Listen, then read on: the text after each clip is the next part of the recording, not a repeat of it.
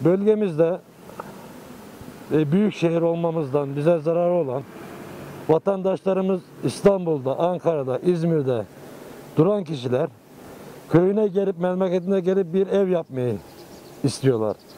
Ev yapmak için de ev yapmak için de büyük şehirden proje almaları lazım. Proje yaptırmak vatandaş çok zor durumda. Yani e, 30-40 sene çalışan bir ev parası ancak kazanabiliyor zaten. 30-40 bin liraya e, proje parası çıkıyor. Bunun yanının akabinde vatandaş kaçak ev yapıyor. Kaçak e, diyelim biz kaçak ev yapıyor. 40-50 bin lira ceza geliyor. Yani buraya e, devletin, devlet büyüklerinin bu kırsal bölgelere bir el atması gerekiyor bu konuda. Bizde e, iki beylik eraziler var. İşte e, henüz bir şey gelmedi fındık bahçesi. Tarihlere 50-60 sene fındık bahçesi. E, bundan bir şeyimiz yok.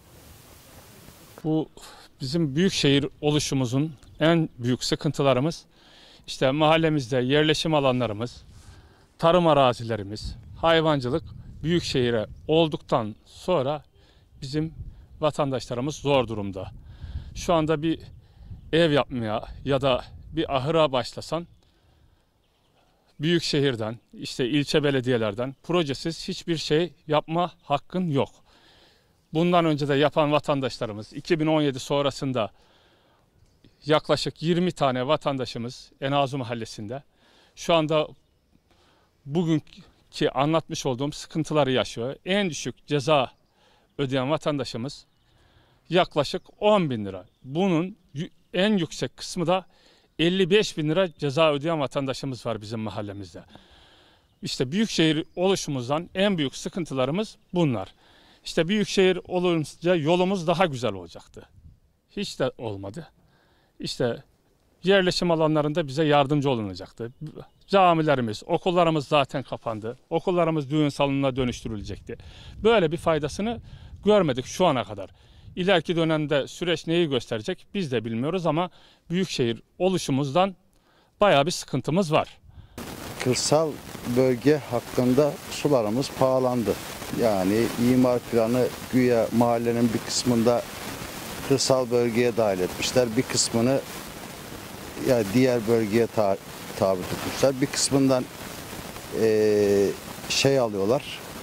Yapı harç parası alıyorlar. Bir kısmından almıyorlar ama bu bu şekilde olmaz. Yani vatandaş odunluk yapıyor yıkım kararı çıkıyor. Yani kömürlük yapıyor, odun kar- yıkım kararı çıkıyor. Ee, tavuk kümesi yapıyor, yıkım kararı çıkıyor. Bu bu şekilde olmaz. Ee, bir de sularımız pahalı. Yani şehirdeki, ordu merkezdeki, Fatsa merkez, Ünye merkezdeki vatandaşlar aynen parayı ödüyor. Biz burada yukarıda aynen parayı ödüyoruz. Yani bu bu şekilde de olmaz. Bilmiyorum artık. Yollarımızın durumu malum. Yani yollarda berbat bir şekilde. Artık ilgililerin şeyine bırakıyoruz. Duyarlılığına bırakıyoruz yani. Durumun ne olacağını. Biz uğraşıyoruz, savaşıyoruz. Gidiyoruz, geliyoruz. Yani bildiriyoruz vatandaşın derdini ama hala da bir çözüm şu ana kadar oluşmadı. Bakalım bundan sonra ne olacak?